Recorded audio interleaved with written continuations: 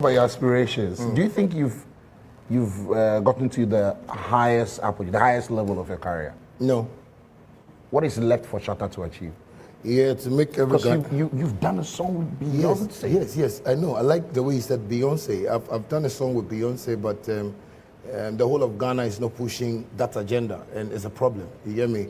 And this is a whole, you know, superstar that you know took one of us. You know, Beyonce didn't say I was special.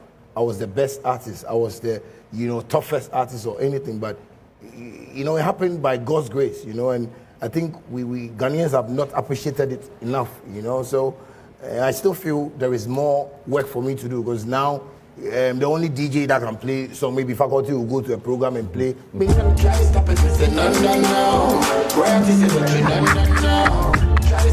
Charlie, what was it? What, what was it like? Like Charlie. If it's the same guy you come for you for Charlie, studio, you the Charlie, guy. Charlie, you're on point. You're on point. Eh, eh, some momo, some momo, some, some, some, some momo go by. Allah, we they use the same number. No, no, don't worry. You are not in there, please.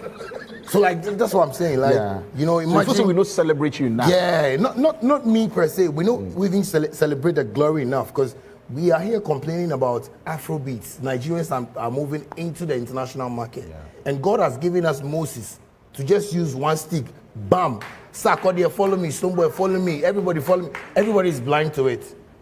Somebody is saying that oh, Mesmer they shut up. Some of their Beyonce, I know. Mm.